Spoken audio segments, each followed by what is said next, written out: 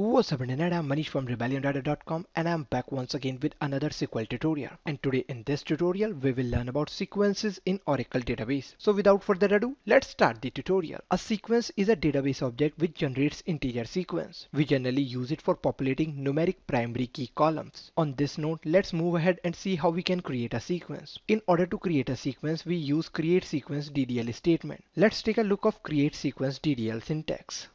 Create sequence DDL statement starts with create and sequence, both of which are Oracle reserved keyword, followed by the name of the sequence, which is purely user defined, meaning you can give any name of your choice to your sequence. Next we have few attributes of the sequence. First attribute is start with. Here you have to specify a numeric value from which you want your sequence to start. Whatever number you specify will be the first number generated by your sequence. Next attribute is increment by. This attribute also takes a numeric value to increment the sequence sequence by. The number that you specify here will serve as the interval between sequence numbers. The value of incremented by cannot be 0 but it can be any positive or negative value. If this value is negative then the sequence descend. If the value is positive then the sequence ascend. If you omit this clause then the interval defaults to 1. Next attribute is max value or no max value. Using these attributes you can set the maximum upper bound for your sequence. Always remember max value must be equal to or greater than start with and must be greater than than min value attribute. In case you don't want to set the max value for your sequence, then you can use no max value attribute. Similar to max value, we have min value attribute to set the lower bound of our sequence. As a value, this attribute also accepts the numeric value and should be less than or equal to start with as well as less than max value. In case you don't want to set the lower bound for your sequence, then you can use no min value attribute instead. Then we have cache or no cache attribute. As value of cache attribute, you specify the number of integers to keep in memory. The default number of integer to cache is 20. The minimum number of integers that may be cached is 2. The maximum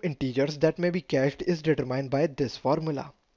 Specify no cache to indicate that values of the sequence are not pre-allocated. If you omit both cache and no cache, then database caches 20 sequence number by default. Next we have cycle or no cycle flags. Cycle and no cycles are two flags which you have to set. If you set the flags on cycle, then your sequence continues to generate its value after reaching either its maximum or minimum value. You specify no cycle flag when you do not want your sequence to generate more values after reaching its maximum or minimum value. If in case you omit both these flags then by default Oracle engine will set the flag on no cycle. At last we have two more flags which are order and no order. Order flag guarantees that sequence number are generated in order of request. This clause is useful if you are using the sequence number as a timestamp. Guaranteeing order is usually not important for sequence that are used to generate primary key. Set the flag on no order if you do not want to guarantee that sequence number are generated in order of request. No order is the default flag in case you omit either of them. Hope syntax is clear to you. Now let's try some examples.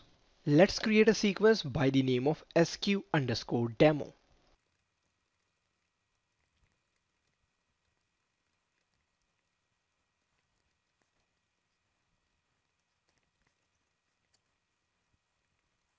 This is a simple sequence with the name of sq underscore demo which is starting with 1 and the interval between every sequence is 2. The max value for this sequence is 10 and min value is 1 and this sequence will cache 3 integers at a time and will cycle after reaching the maximum value which is 10. Also I have set order flag which means generation of the number will generate in guaranteed order. Let's execute.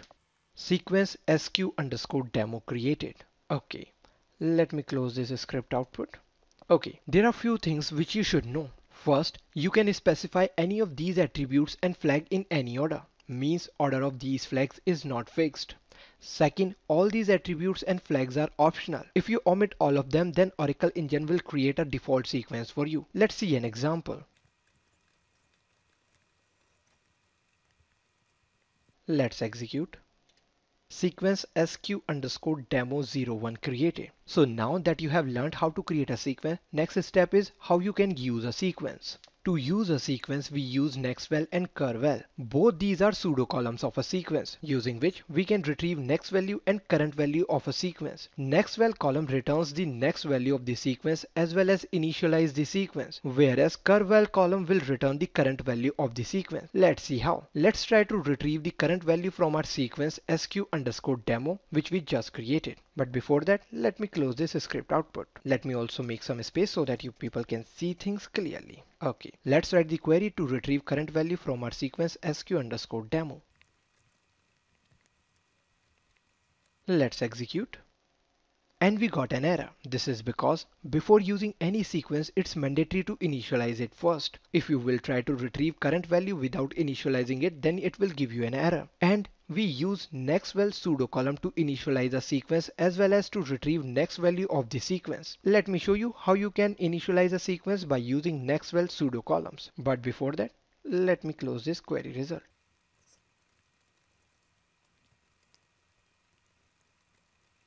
Let's execute. As you can see, the value returned from this query is the value which you have assigned to your start with attribute. Let me adjust my output panel. Okay, every time you execute this select DML, the sequence will generate the next integer in the row, which means that if I will execute the same select DML, then next integer will be 3 because we have specified the interval between the sequence as 2 in increment by attribute. Let's execute same select statement once again value returned is 3. Now once again try executing the currval query which gave us an error last time and see what happened this time. As you can see, this query executed successfully this time and returned the current value of the sequence. This means that after creating a sequence, first you have to execute next nextVal query to initialize it and then you can use it. Next, we will see how we can populate a primary key column using sequence. For the demonstration, I have created a table by the name of demo which has only two columns. First is demo ID which is our primary key column and can hold numeric data as its data type is number. Next is demo name which is capable of holding variable character string as its data type is varchar2. Now we will insert the rows into this table and populate the primary key column using the sequence which we just created. Let's see how. By the way, you can refer my tutorial 32, 33 and 34 on how to insert data into a table link for which are in the description box. Let's write the insert DML.